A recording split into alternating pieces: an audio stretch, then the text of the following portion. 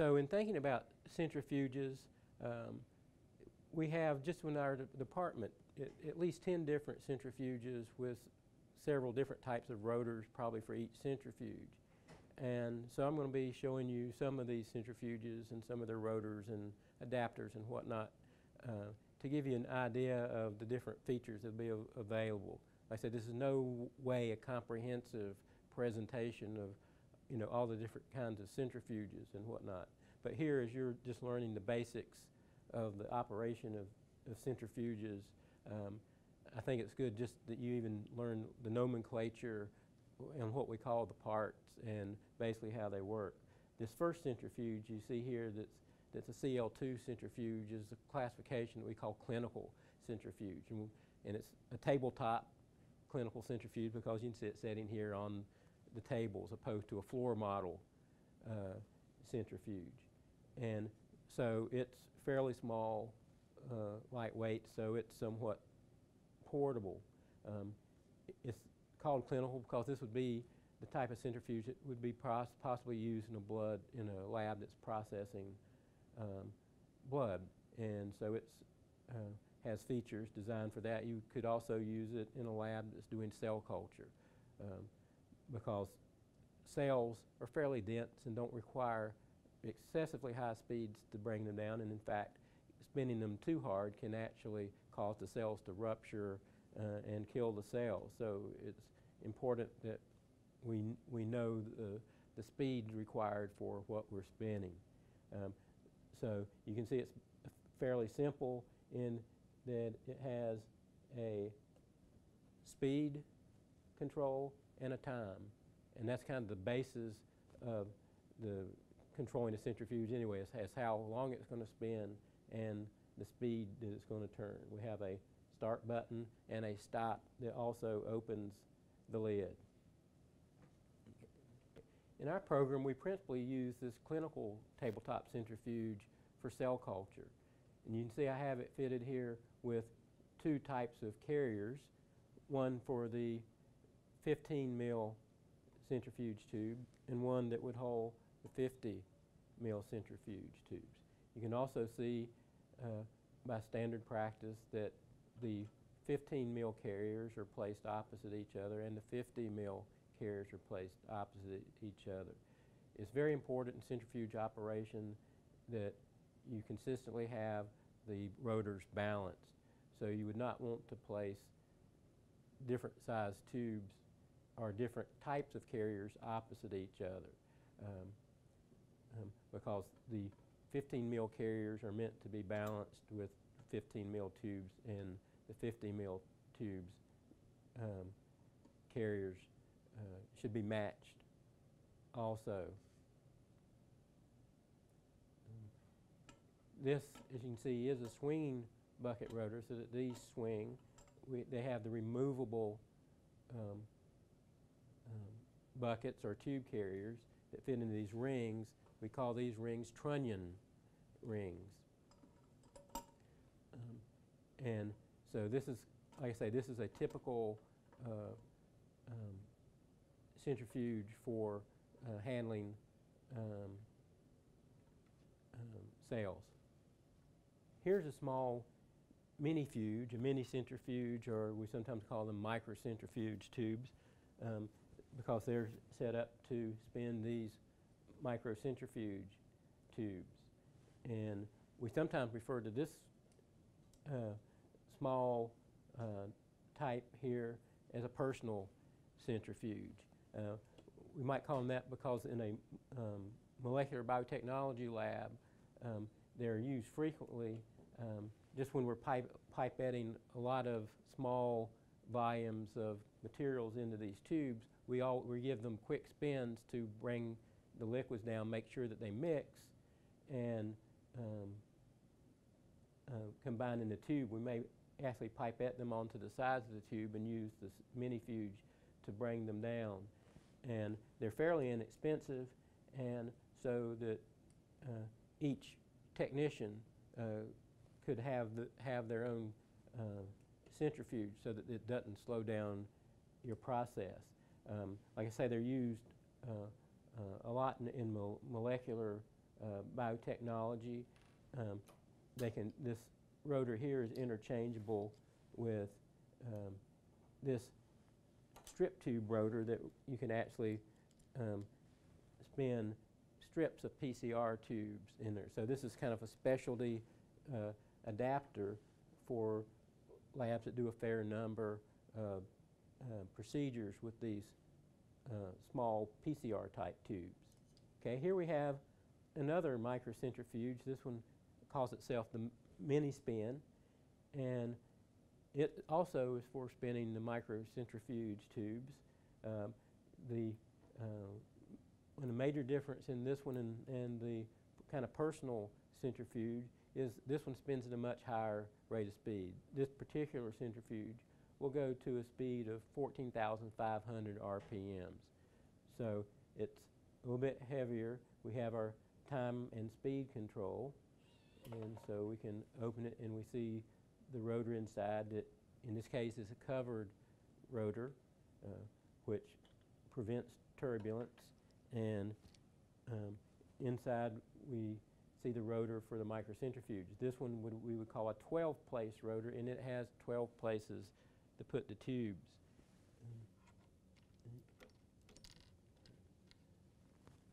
So we could place the tubes into the microcentrifuge and as usual balancing them we would have tubes with equal volumes in opposite places. Here we see them in position one and seven. Um, and so this is, the holes in this centrifuge rotor are made specifically to handle these 1.5 mils microcentrifuge tubes. But it's also possible to spin these smaller PCR tubes by placing them in these adapters.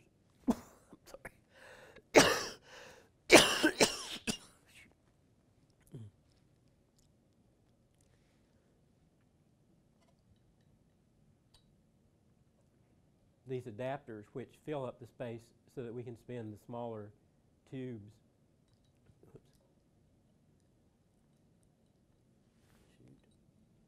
Um, in these carriers. And you must always remember with these high-speed microcentrifuge tubes to replace the cap on it before starting the centrifuge.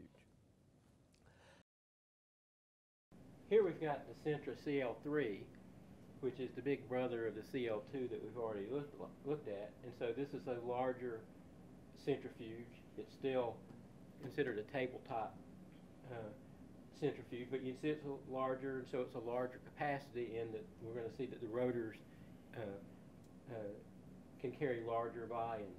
And there are a few more uh, controls on here. We still have um, uh, a speed control, although this one you can either set it for speed or reciprocal centrifugal force. Um, we have time there, and this one has rotor recognition so that it recognizes the different types of rotors so that it can actually figure the, the correlation of speed and g-forces with it. It also has the ability to control the rate of acceleration, how fast it takes to get to its speed, and how uh, fast it slows down. Um, if you have a substance that, substance that pellets pretty tightly, you can uh, it can afford to be uh, slowed down rapidly. But if you have cells or some components that don't pack so tightly and you slow them down too fast, it can actually resuspend them by the um, slowing down braking action of the rotor. And then we have the start and the stop and the open. Okay, looking inside, we can see that it's got a little larger rotor, and it, this again is a four-place or four-bucket rotor, and you can see that the buckets are a little bit larger, so we have a higher capacity. Here we see a carrier that we can put in that has two uh, 50 mil tubes. And we have carriers that hold multiple smaller test tubes. and there's a, a whole assortment of other types of rotors that can be used uh, in this, uh, or carriers that can be used in this rotor in this centrifuge. These carriers can also be fitted with these aerosol con- containment caps. If you were spinning blood or a hazardous uh, liquid, you can use these caps so that if the tube cracks or the lid would crack or some something would happen to the tube that contained your liquid in the carrier and doesn't release it into the centrifuge. So all these different size adapters just give the centrifuge uh, a lot of flexibility in the types of tubes and samples you can uh, centrifuge. In fact, I'm going to take this rotor out.